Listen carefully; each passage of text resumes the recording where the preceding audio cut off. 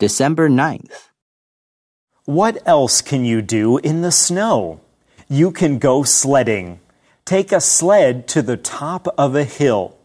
Ride to the bottom. Then do it again. It's exciting. You can also make a snow angel. Lie down with your back in the snow.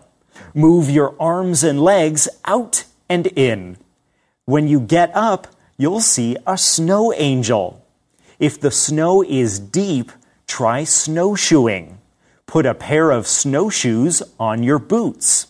Then walk on the top of the snow. Conversation A. Hey, James, are you enjoying the snow? Yes, my friends and I went sledding last night. That's exciting.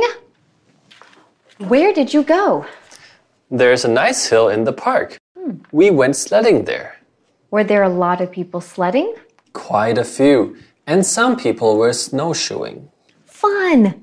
I'd like to try that. Maybe I'll buy a pair. Conversation B. I also saw some kids making snow angels. I loved that when I was a kid. I'd lie down in the snow. Then I would move my arms and legs out and in.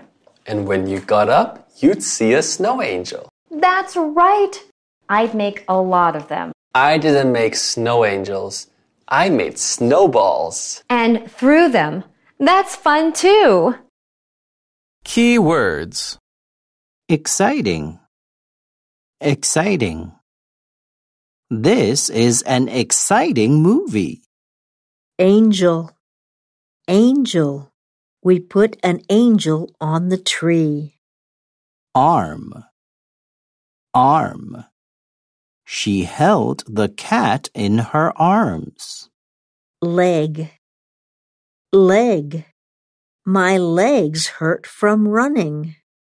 Pair. Pair. I need a new pair of shoes.